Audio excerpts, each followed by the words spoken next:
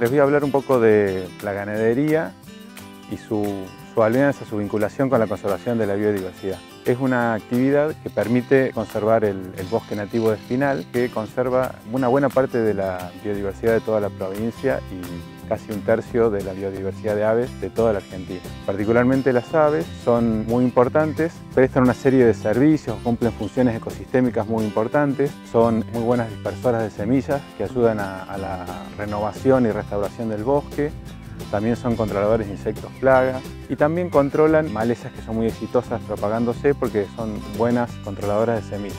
En particular hay dos aves eh, amenazadas de los ecosistemas terrestres de Entre Ríos, están amenazadas a nivel mundial y ambas especies viven en estos sistemas ganaderos, en campo natural. Es fundamental mantener este tipo de actividad, esta actividad con una baja carga, utilizada con una asignación de carga que permite que los pastizales se recuperen y se mantengan en buen estado, ayuda a conservar poblaciones muy importantes, por ejemplo de cardenal amarillo, que es una especie en peligro de extinción a nivel mundial, que conserva buenas poblaciones allí y también es muy buena para la conservación de ñandú, que es una especie con un grado menor de amenaza, pero también amenazada a nivel mundial. Este tipo de actividad es realmente interesante, como por un lado, a la vez que sirve como actividad productiva, puede ayudar a la conservación de la biodiversidad en el norte de Entre Ríos.